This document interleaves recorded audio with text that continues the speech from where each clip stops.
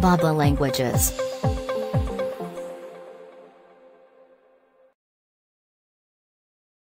Circumspective. Circumspective. Circumspective. Circumspective. Circumspective. Circumspective.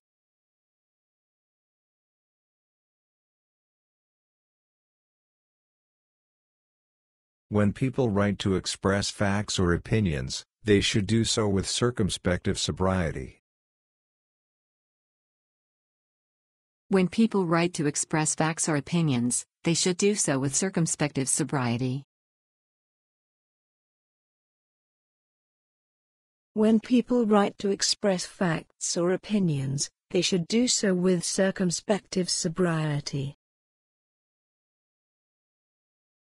When people write to express facts or opinions, they should do so with circumspective sobriety.